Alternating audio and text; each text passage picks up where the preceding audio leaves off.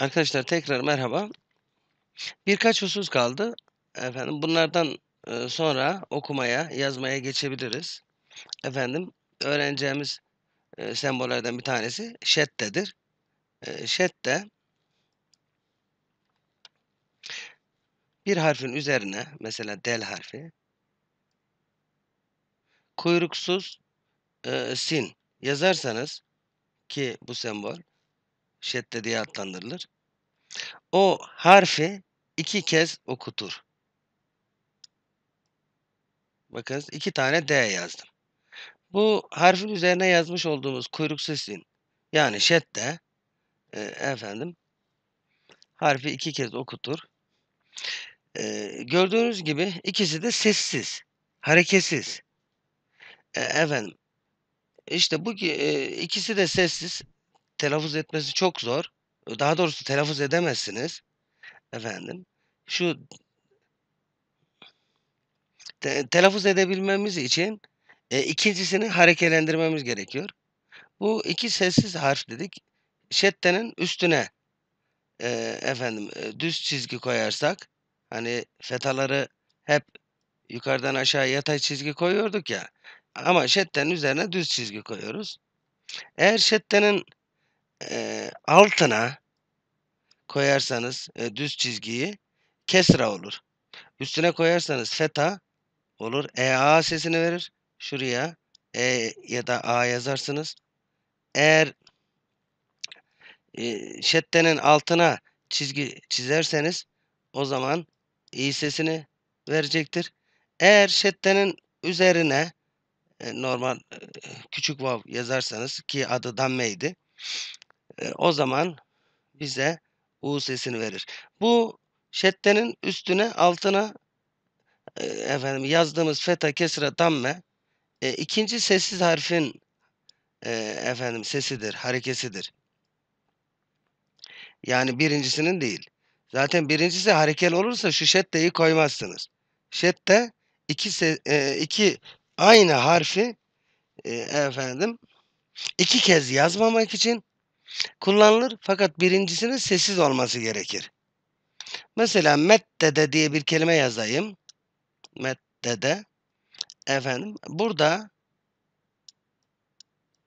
şu e, şedden üzerindeki feta e, D iki tane ya. İkinci D'nin harekesidir.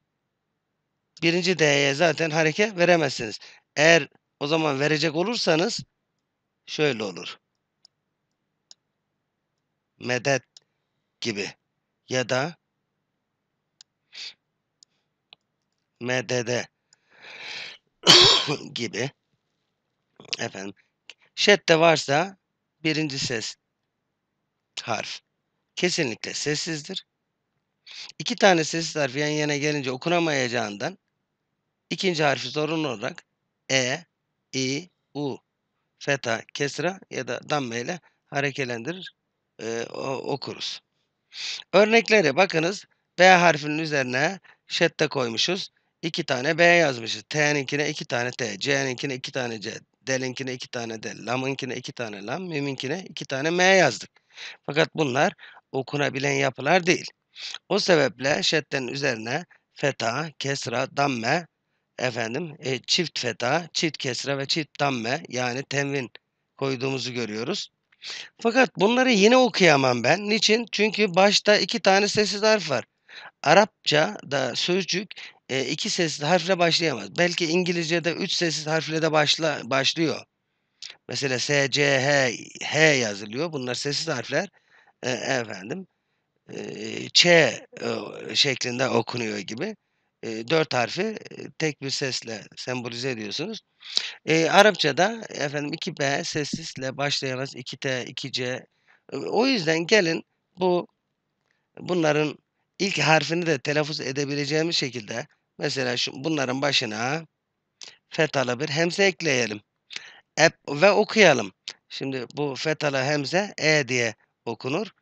Ebbe, etti, etcu, etten, ellin, e, efendim emmun gibi bunların başına hep e getirirsek e, o zaman şuradaki 2M'yi, 2L'yi, 2D'yi, 2C'yi okuyabiliyoruz.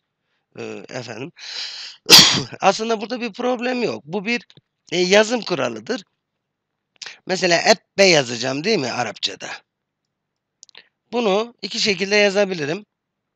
Eee, ikisinde de ebbe diye okunur. Fakat bir tanesine yanlış yazmışsın derim. Eee, efendim, şimdi yanlış yazıyorum ben. Eee, telaffuzu doğru ama yazımı yanlış. Eee, efendim bakınız. B'yi 2 kere yazdım. Birincisi sessiz. Ebbe. Efendim bu, ııı, yanlıştır der, eee, efendim, eee, kitaplar, işte dil kurumu. Eee, peki doğru yazılışı nedir bunun? Bak telaffuzu etkilemiyor. Telaffuzu etkilemiyor. Doğru yazılışı nedir? Efendim burada B 2 kere tekrarlanmış. Birincisi sessiz, ikincisi sesli olur zaten. Eee, bu gibi durumlarda, eee, efendim tek B yazar, üzerine şedde koyarız. Ebbe. Şu doğrudur, bu yanlıştır. Eee, aynı durum, eee, diğerleri için de geçerlidir. Şedde diyoruz, harfi çift okutur. Okuma alıştırmalarında bunları göreceğiz. Daha önceden alfabe harflerinden bahsederken bazılarının kelime içerisinde, eee, kendisinden sonraki harfe bitişmediğini yazarken, eee, kalemin, eee, kaldırıldığını söylemiştik. Eee, ne demek bu? Efendim, hani, Arapça sürekli olarak, eee, el yazısıyla yazılıyor ya, yani, eee, harfler birbirine bitişiyor kelime iç kelime içerisinde. Eee, Türkçedeki el yazısıyla, eee, karşılaştırmıştık. Fakat bazen dedik, Türkçede hiçbir zaman, eee, sözcük yazılırken el kalkmaz. Sözcük bittikten sonra kalkar. Daha sonra çizgiler, noktalar konur demiştik. Arapçada da böyle ama bir farkla bazı harfler, kendisinden sonrakine bitişmediği için kalemin kaldırılması gerekiyor. Bu bunlar 6 harften oluşuyordu. Şimdi toplu olarak burada göreceğiz. Elif, bak hemze değil, elif, del, zel, ra, zey ve vav. Zaten bunları bakınız yan yana yazmışım sözcükmüşcesine ve hiçbiri kendisinden sonrakine bitişmemiş. Ama şunu söylüyorum, bunların hepsi, eee, kendisinden sonrakine, kendisinden öncekine bitişebilir. Eğer kendisinden önce, eee, bitişmeyen bir harf yoksa. Mesela emm, tüm harfler kendisinden öncekine bitişir demiştik. Kendisinden önce bitişmeyen bir harf yoksa. Mesela vav. Niye kendisinden öncekine bitişmedi? Çünkü kendisinden önce harfi yok ki. Kelimemizin ilk harfi vav. Yani şurada bir boşluk var. Kelimeye başlarken vav'la başlıyorum. E, başta yazılışı bu. Ama vav'dan sonra ra geliyor. Vav kendisinden sonrakine bitişmez. E, ra, ra kendisinden sonrakine bitişmez. Çünkü burada vav, ra var. Eee, efendim, mime gelince, e, mim kendisinden sonrakine bitişir ama har eee, sözcük bitti. Sözcük bittikten sonra bir boşluk vermesi lazım. Mim kendisinden öncekine niçin bitişmedi? Çünkü ra var. Ra kendisinden sonrakine bitişmez. Evet, zor değil aslında. Ben belki, eee, çok tekrar yaparak zorlaştırıyorum. Verem, verem. Hımm. Tabii m sesini harekelememişim. İstersem veremu ımm, veremun diyebilirim. Vav, zey ve ra hiçbiri kendisinden sonrakine bitişmez. Vizr. Harekelemek istersem son harfi vizrun, vizran, vizrin diyebilirim. Efendim elif, burada hemzeyi dikkate almayın. Elif, eee, kendisinden sonrakine bitişmez. E, ke, le. Ekele. Eee, hemzenin yazım kurallarından biri elifin üstüne yazılmasıdır. Hemzenin yazım kurallarından bir diğeri hemzenin altına yazılmasıdır. Hemzenin yazım kurallarından bir diğeri de vav'ın üzerine yazılmasıdır. Burada ne elif ne vav okunmaz. Okunan hemzedir. Hemzenin tek başına yazıldığı, eee, efendim tırnak üzerine yazıldığı, hatta noktasız y üzerine yazıldığı da olur. Bunlardan bahsetmeyecek demiştik. Eee, efendim, bu yazım kuralları. Ekele, kara'e. Efendim ra kendisinden sonrakine bitişmiyor. Bakınız. Şimdi ben baştan yazmaya çalışayım bunları. efendim vav, ra ve mim. Wizard yazıyorum. Vav, elimi kaldırıyorum. Zey, elimi kaldırıyorum mecburen. Ra. Şimdi harekelendiriyorum. Ekele diyeceğim. Elif'i yazdım. Üzerine hemzeyi koydum. Ee, efendim. Elif kendisinden sonrakine bitmiyor. Bak kefi yazdım. Lama geçtim. Bitirdim. Kefin çizgisini indiriyor. Daha sonra da harekelerini koyuyorum. Karae. Kaf. Ra. Elimi kaldırmadım ama şimdi kaldırıyorum. E, çünkü ra kendisinden sonrakine bitişmez. Elif'i yazdım. Şimdi elimi tekrar kaldırdım. Diğer işaretleri, noktaları ve harekeleri koyuyorum. Mezhep. Z kendisinden sonrakine bitişmiyor. Mez. Şimdi Z kendisinden sonrakine bitişmiyor. Elimi kaldırıyorum. Diğer sözcükleri yazıyorum. Şimdi noktalara geçtim. Ha, istersem harekelendiririm. Mezheb. Eğer son harfi de harekelendirmek istersem e, efendim harekelendirmeyi yaparım. Mezhebun. Bu vav işte üzerine böyle bir işaret koyduğumuzda öteki vav yerine geçiyor. Temin olmuş oluyor. Efendim şimdi nerede? Karıştı.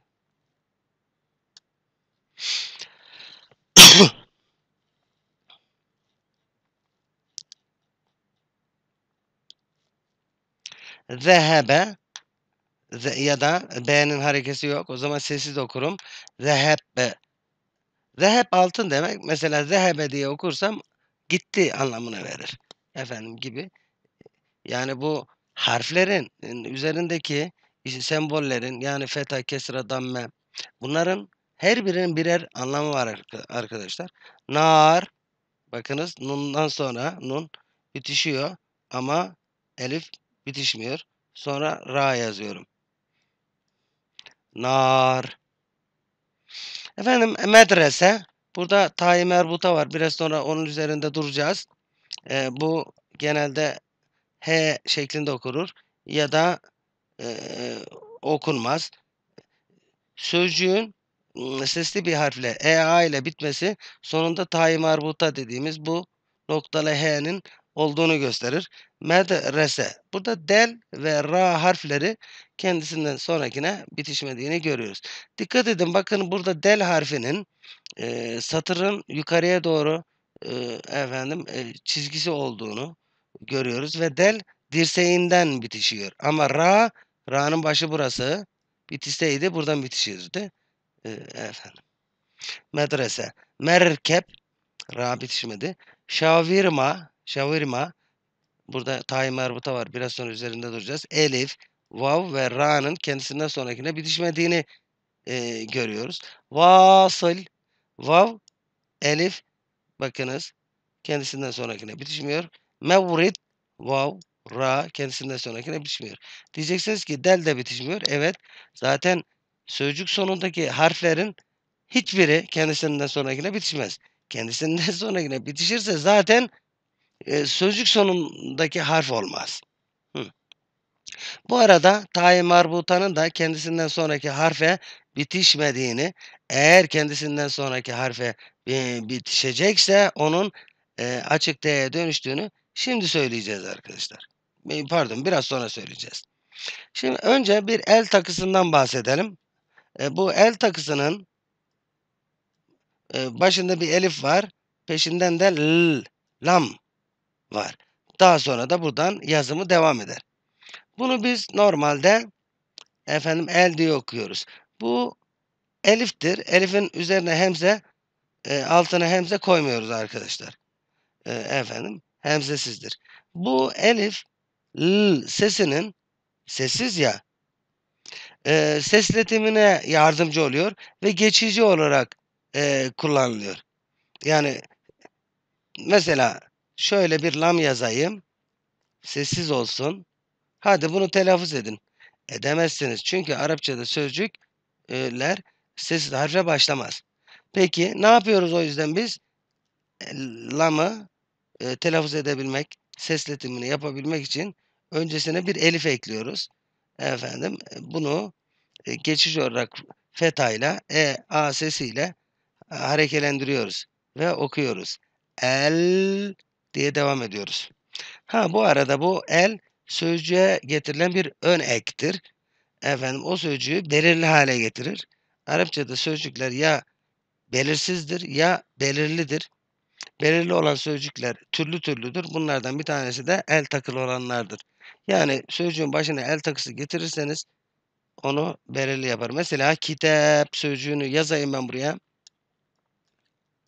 Kitabı yazdım. Ben bunun başına el takısı koyarsam az önceki kitap herhangi bir kitap, belirsiz bir kitap idi. Fakat el takısı koyunca artık e, kendinden bahsedilen kitap belli oldu. Herhangi bir kitaptan bahsetmiyorum. Belli bir kitaptan bahsediyorum. Efendim, el kitap. İşte sözcüklerin başına el takısı koyduğumuzda bazı ses değişimleri olur. Mesela burada olmadığı gibi e, efendim e, ama biraz sonra olacak. Niçin burada olmadı? Kitap başına el koydum. El kitap dedim. Fakat şems, şems bunun başına el takısı koyduğumda el şems demiyorum. Ha Avrupalılar diyor ya da Avrupa'dan mesela e, haber alan Türk spikerleri de el şems diyor. E, Avrupalılar yazarken e, herhangi bir ses değişikliği yapmadan şems, el şems diyorlar. Fakat Araplar ne diyor ya da Arapça bilenler şuradaki l sesini e, efendim okumuyor. Şeyi e, çift okuyor. Şeddeliyor. Bunun sebebi var. Arapçada 28 harf var demiştik ya. Bunun 14'ü kameri harf oluyor. Yani el takısı koyduğumuzda başına herhangi bir değişiklik olmaz. Hareket değişimi. Şeddeleme olmaz. Ama geri kalan 14 harfinde l sesi lam yani okunmaz. Peşinden gelen ilk harf çift okunur. Şeddelenir. Bunu efendim e, göreceğiz. Tekrar bir el takısına dönelim. L sessiz olduğu için elifi feta ile hareket edik ya. Hı. Niçin? Çünkü sözcük sessiz bir harfle başlamaz. Peki mesela bunun başına bir de vav getiriyorum. Ve ve vav'ın hareketi var. Fetalı. Ve. Şunu bitiştirdiğimde artık şu elife ihtiyacım kalmıyor. Niçin? Burada elif fetası. Olmasa da artık ben well diye okuyabiliyor. Lam'ın telaffuzunu çıkarabiliyorum. Telaffuz edebiliyorum. Ee, efendim o yüzden şuradaki elif okunmaz artık. Buradaki elif okunmaz. Ee, efendim well denir. Fakat vav'u düşürünce buraya tekrar elif koymamız gerektiğinden yazıyı yazarken şuradaki elifi efendim e, yazarız. Okunmadığında da yazarız, okunduğunda da yazarız. Mesela vel kamer diyeceğim değil mi? Şimdi burada ne var? El el kamer var. El kamer var. El kamer. Tamam. Başına vav getirdiğimde artık şu fetaya yani elife ihtiyacım yok. Fakat vel kamer derken elifi yine yazıyorum. Yazıyorum. Bu durumda başında vav olduğunda örneğin elif okunmaz. Okunması da yazılır. Ee, efendim çünkü el takısının bir parçası efendim kabul ediliyor. Peki başına el takısı getirdiğimde hangi harfler de şeddeleme olmaz da hangi harflerde şeddeleme olur? Ee, ve lam okunmaz. Bunları görelim. He, efendim siz kendiniz aslında e, bunu e, yapabilirsiniz. Mesela başına el takısı koyun sonraki şu harfleri şeddelemeye çalışın. Şeddelerken de L sesini okumayın. Mesela Hemze'de e, yapamıyorsunuz. E, burada ebbe, el, ebbe, el, beyt diyeceksiniz. Ebbeyt, e, mesela el car diyeceksiniz. Et car, e, dile biraz zor geldiğini hissedebilirsiniz. E, efendim kanaatimce. E, ya da bunu hissetmiyorsanız o zaman söyleyelim. Arkadaşlar hemze, b, cim, ha, ha, ayn, gayn, f, kaf, kef, mim, he, vav, ye harfleriyle başlayan bir sözcüğün önüne el takısı geldiğinde l telaffuz edilir. Herhangi bir şeddeleme olmaz. Mesela ekil diye bir kelimemiz var. Ekil. Harekeledik. Şimdi bunun başına el takısı koyalım. Ve okuyalım. Ekil, el ekil. Hiçbir değişiklik yok. Beyt, beyt. Efendim. Beyt. Harekeledim. Tamam. Şimdi bunun başına el takısı koyayım. El beyt. Yani hiçbir değişiklik yok. Sadece beyt sözcüğü el takısıyla belirli hale gelmektedir. Diğerleri için de aynı durum söz konusudur. Bu 14 harfe kameri harfler deniliyor. Niye kameri harfler deniliyor? Çünkü kamer sözcüğünün önüne el takısı getirdiğimizde şeddeleme olmuyor. Bunlar da ona benzediği için bunlara demişler ki kameri harfler adını verelim. Oysa şems kelimesinin önüne el takısı getirdiğimizde l sesi artık okunmaz ve kendisinden sonraki işte 14 tane harften biri işte burada şeye bunlardan bir tanesidir. Çift okunur. Şeddelenir. Buna benzeyen e, efendim harflere de e, şemsiye harfler denilmiş. El takısı konulduğunda şeddelenen harfler. Bakınız T, S, Del, Zel, Ra, Zey. Sin, Şin, Sad, Vad, Ta, Za, Lam, Nun. Bu harflerden biriyle e, başlayan bir sözcüğün önüne el takısı getirdiğimizde şuradaki l sesi okunmaz. Bu şemsi harf iki kez okunur. E, yukarıda şedde e, bir harfi iki kez okutur. Birincisi sessizdir, ikincisi sesli demiştik ya. Ha. Mesela terk diye bir kelime yazalım şuraya. Terk. Türkçe'de de kullanılıyor. Terk. Bu terk sözcüğün önüne el takısı getirelim. Getirdik. Normalde bu eldi değil mi? Evet. Fakat karşımıza el terk diye çıkmaz. El terk diye çıkmaz. Aksine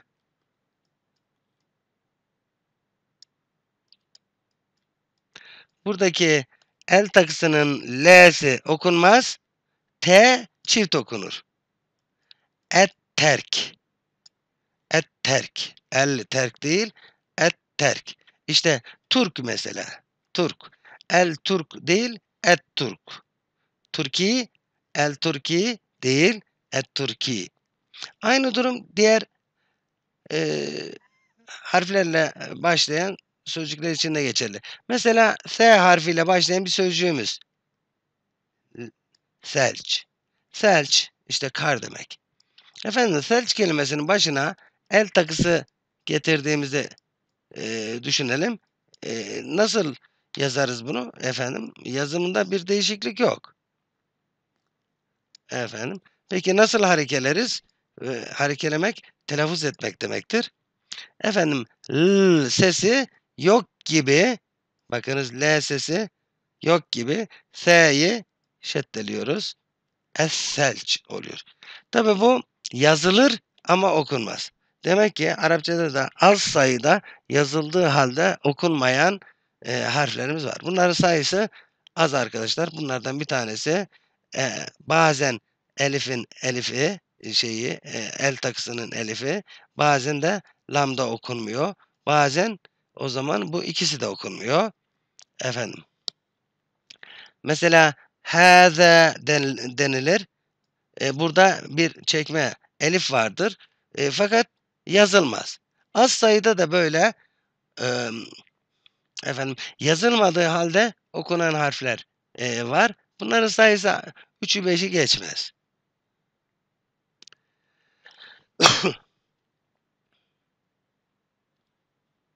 Mesela semek diye bir kelimemiz var. Semek. Harekeledik. Semek. Şimdi bunun başına el takısı koyalım. Marife belli hale getirmek için. Bitiştiriyoruz. Efendim. Şimdi semekti bu ya. El takısı gelince normalde el semek olması lazım. Fakat şuradaki sin şemsiye harflerden bir tanesidir. O sebeple sinin üzerine şeddeliyorum ve şuradaki lamı okumuyorum. Es-semek. Es-semek. Efendim bu harfleri tanımamız efendim e, gerekiyor. Zaten mesela Kur'an-ı Kerim e, okuyacaksanız e, bunlar şemsi mi, kameri mi e, ayrımını zaten siz yapmıyorsunuz. E, onu yazanlar e, ilgili yere zaten ilgili sembolü efendim koyuyorlar. Efendim bir iki husustan bahsedeceğimizi söylemiştik. E, bunlardan bir tanesi de ta'yı marbutadır. Ta şu T var ya elif B T. Evet. E, T kapalı T ya da T-i marbuta, Ta-i marbuta ince ve kalın okursanız. E, efendim Ta-i marbuta dediğimiz şey e, kapalı T'dir. Kapalı T ne demektir? Şimdi T'nin başlangıç noktası şurası değil mi? Buradan başlıyorum yazmaya. Evet. Şimdi başla e, harfin başladığı yere tekrar geri gelirsek bakınız bağlamış oluyorum değil mi? Bakın buradan başladım T'yi yazmaya. Sonra başladığım yere tekrar geliyorum. Yani bu harfin başını bağlıyorum. Başı neresi? Başladığım yer. Yani bir anlamda yuvarlak çiziyorum yani. Buna o yüzden başı bağlı T diyorlar. Niye başı bağlı T? Çünkü başı bağlı. Evet. Diğer bir açıdan baktığımızda kapalı olmuş oluyor. Nasıl kapalı? Çünkü şurada açıklık yok. Efendim. Evet. Buna biz kapalı T, başı bağlı T, Arapça te, e, efendim terimle ta, ta'yı marbuta e, diyoruz. Bu normal bizim bildiğimiz e, aslında T'dir. Nitekim bu kapalı T ifadesi zaten iki noktalı efendim e, bazen açılır. Ve açılması ne demek? Efendim başladığı yere hani e, getirirsek başını bağlamış oluyoruz. E, peki getirmezsek yarıda bırakırsak e, o zaman açık T olmuş oluyor. Kapalı T'nin e, tabi e, e, bir sembol değeri var. Sözcüklerin sonuna sözcüklerin sonuna e, getirildiğinde, bulunduğunda bu genellikle o sözcüğün dişi, dişil, müennes olduğunu gösterir. Efendim biz tabi onlardan şimdi bahsetmeyeceğiz. Ta'nın kendisinden önceki harfe diğer tüm harfler gibi bitiştiğini e, biliyoruz. Eğer bu şekilde yazarsam arkadaşlar bakınız şöyle. Buna biz H harfinin sonda yazılışı demiştik değil mi? Bunun noktalı hali efendim işte T'dir. Noktasız yazılırsa H, noktalı yazılırsa T'dir. Fakat bu T'lerin Osmanlıca'da H gibi yazıldığını da belirtmiş olayım Osmanlıca'da. Peki bu o, kapalı olan H yani kapalı T açı, açık hale getirilirse ne olur? Burada onun da örnekleri var. Mesela burada medrese sözcüğü kapalı T ile yazılmış. Medresetukum gibi bir ifade o kapalı T kendisinden sonrakine bitişmez. Ama kelime sözcük e, efendim daha devam ediyorsa e, o zaman açık T'ye dönüşür ki kendisinden sonrakine bitişsin. E şimdi bunlar üzerine duralım. Şuradaki mühendislik e, T'si e, olarak da bilinir. Tayin marbuta demiştik. Efendim bu T'nin bir özelliği var. Şurada da belirtildiği üzere kendisinden önceki e, harf şunu bir harf olarak düşünün. Kesinlikle e, EA sesini veren bir fetadır. Yani bu tay merbutadan önce kesra ya da damme ye rastlamazsınız. O yüzden şöyle bir sözcüğü yazdığımızda şurada tay marbuta varsa şuradaki fetanın yazılmasına gerek yok. Niçin? E, çünkü fethadır o. Kesinlikle başka bir hareke olamaz. Peki T'nin kendisi? T'nin kendisi U, E, I seslerini alabilir. Medresetun, medreseten, medresetin. Daha önce de teminlemeden bahsetmiştik. Mesela B harfini e, fethayla teminleyeceksem ben, kesra ile teminleyeceksem bin, damme ile teminleyeceksem bun derim demiştik. Ve fetha ile teminlerken bir elif yazıyoruz. Okunmayan bir elif. E, sadece temini göstermek için elifin e, elifi yukarıya doğru çıkarıyoruz. Demiştik. Tay marbuta da buna gerek yok arkadaşlar. Gerek yok dediğim yani e, öyle bir şey yapamayız. Bakın medreseten buraya bir elif çıkarırsanız bu kapalı T açığa dönüşür zaten. E, o yüzden olduğu gibi hemen üzerine iki tane feta e, koyuyor, teminliyoruz. Medresetun, medreseten, medresetin. Mukabeletun, mukabeleten, mukabeletin.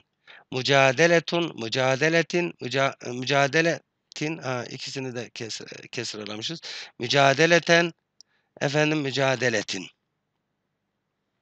Peki bu T'yi açık T'ye nasıl dönüştürürüz? Kendisinden sonra bir harf bitişirse. Mesela medresetukum mukabeletuna mücadeletuhu ifadelerinde e, efendim şuradaki kapalı T'yi efendim e, biz açığa dönüştürdük. Artık şöyle bir noktalı H söz konusu değil. Normal açık bir T. Hatırlarsanız açık T'nin yanlış e, e, yan, e, tek başına yazılışı buydu. Başta da yazılışı bu. Ortada yazılışı efendim bu ve sonda yazılışı o da bu.